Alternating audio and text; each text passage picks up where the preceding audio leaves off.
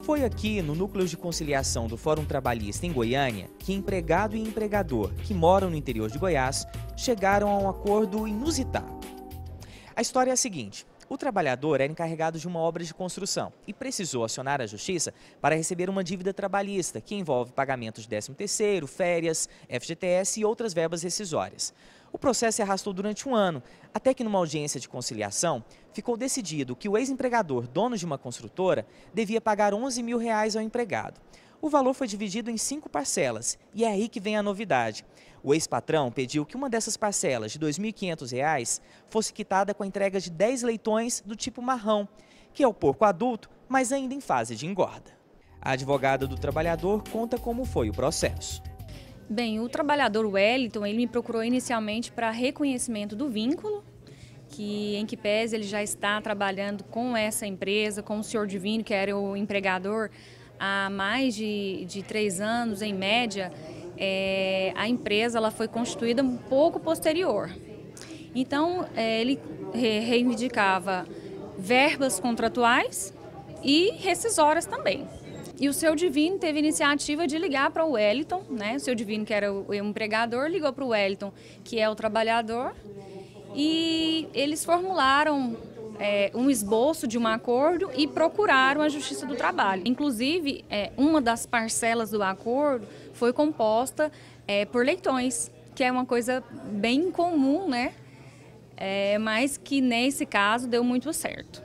Ainda de acordo com a advogada, o empregado ficou satisfeito com o acordo. Foi interessante sim, porque é, o processo já se arrastava há um tempo, né? É, são, eram pessoas próximas uma da, da, da outra, né? Satisfez a necessidade do trabalhador naquele momento, né? E também do empregador. Segundo o juiz titular da Sexta Vara de Goiânia e coordenador do Centro de Conciliação, não é comum o pagamento in natura, ou seja, quando a dívida trabalhista não é paga em dinheiro, mas de outra forma, como neste caso. Realmente, nós, como nós estamos no capitalismo, é claro que nós queremos que o pagamento seja em dinheiro, mas há casos como esse que houve uma inviabilidade da conciliação em face do valor, porque o trabalhador queria um valor maior e o empregador naquele momento não dispunha do dinheiro. E aí vem toda a capacidade do juiz e dos servidores, todo o treinamento que é dado para os servidores da Justiça do Trabalho, aí nós lembramos do nosso treinamento e oferecemos aquela solução criativa.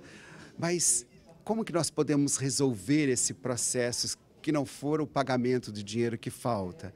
Aí veio a solução da própria parte, que ele disse: Olha, eu tenho os leitões lá na fazenda. Imediatamente a outra parte se interessou pelos leitões.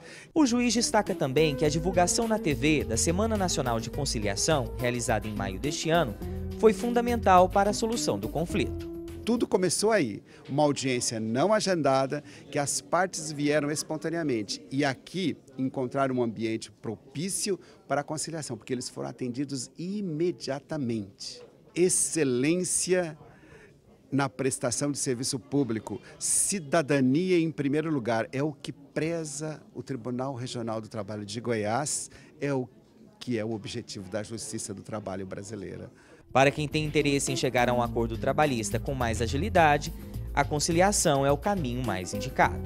Então, as partes que querem conciliar e tenham um processo em andamento podem a qualquer momento comparecerem presencialmente aqui, as duas partes, porque nós não intimamos, então eles comparecem. Imediatamente é designado um conciliador para atendê-lo.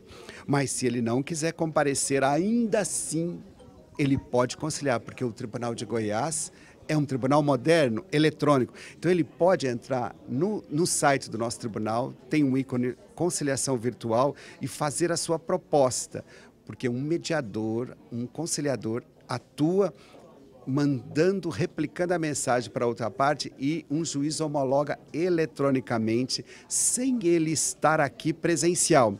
É a justiça do trabalho no terceiro milênio.